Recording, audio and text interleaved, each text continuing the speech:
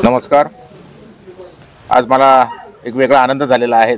एक आनंदाचा क्षण म्हटलं तरी चालेल जुन्नर तालुक्याच्या याच्यामधल्या निवडणुकीच्यामध्ये की आज विधानसभेची निवडणूक लागलेली आहे. अतुल म्हटलं तसं खरी गोष्ट आहे. नाही माझा येतो. ए अतुल फोन करतो जुन्नर तालुक्यामध्ये जसं पुणे जिल्ह्यामध्ये खेड आंबेगाव जुन्नर तसं जुन्नर तालुक्यामध्ये आदिवासी माझे बांधव फार मोठ्या प्रमाणात आहे माझ्या वडील सहकर्मची कैलास शिवाजीराव काळे वल्लभशेठ बेनके साहेब यांनी आदिवासी समाजासाठी त्यांच्यामध्ये राहून अनेक वर्ष काम केलेलं आहे. कैलासवासी कृष्णराव मुंडे साहेब यांना निवडून आणण्यामध्ये आमदार करण्यामध्ये माझ्या वडिलांचं मोठं योगदान होतं त्या काळात.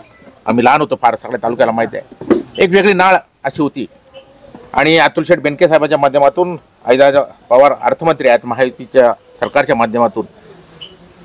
सगळ्यात महत्त्वाचं असं मी पण एक दोन वेळा तिथे होतो मंत्रालयात होतो काळू शेठ आणि आमच्या वायर साहेबांचा आणि सगळ्या माझ्या आदिवासी बांधवांचा अनेक वर्षाचा हिरडा प्रश्न रखडला होता कारखान्याचा. आणि तिथं बारा कोटी रुपये तिथे मंजूर केलेले आहेत.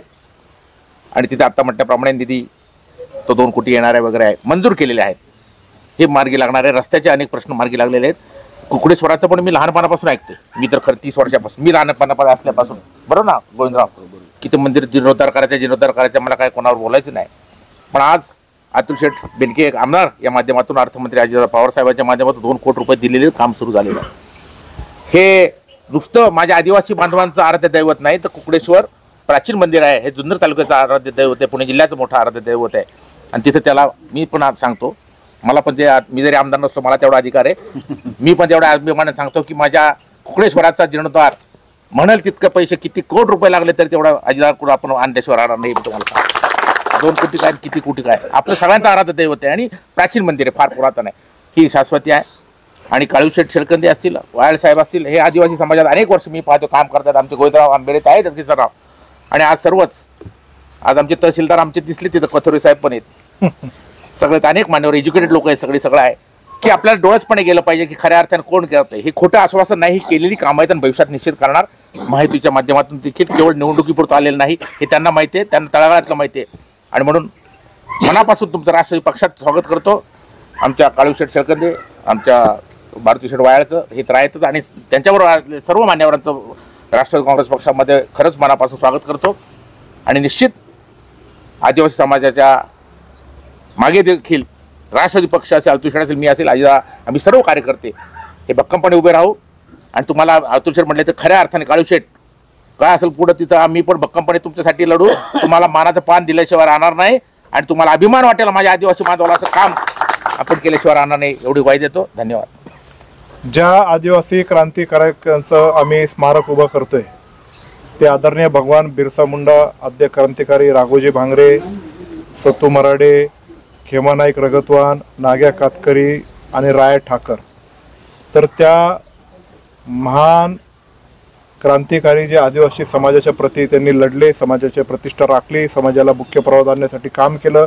छत्रपती शिवाजी महाराजांच्या स्वराज्य स्थापनेमध्ये आदिवासी समाजाचं मोठं योगदान होतं.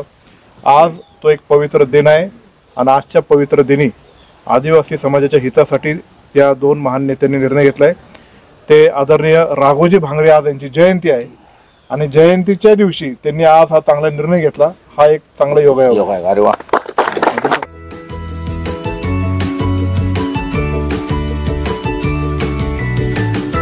बातम्या शेतीच्या बातम्या मातीच्या बातम्या अन्यायाच्या गुन्हेगारीच्या.